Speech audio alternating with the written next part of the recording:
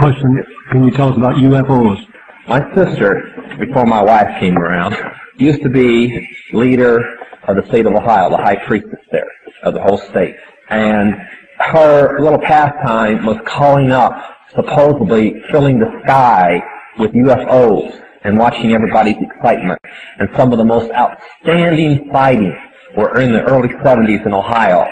And she used to laugh about it because she'd be standing in a circle out in the field somewhere calling up demons. And that's all they were, were angels of light playing games in the sky. Remember, a demon, get the little spooky picture. There are a fallen angel, an unclean spirit. They can assume any form or go into anything except a Christian who walks in the spirit all the time. Know any? You know, or in other words, a Christian who keeps it under the blood and so on.